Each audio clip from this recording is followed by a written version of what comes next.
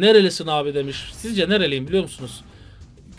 Çok ironik bir olay. Ee, Recep Tayyip Erdoğan bizim şeyimiz oluyor. Eniştemiz oluyor. Öyle düşünün.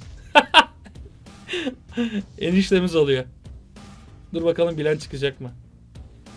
Oğlum ne Rize'si ya? Ka- Kamil misiniz siz? Eniştem oluyor diyorum. Oğlum Emine Erdoğan nereli? Abi yok ya sizin genel kültür sıfır. Bost, Bost King bildi. Siirt arkadaşlar.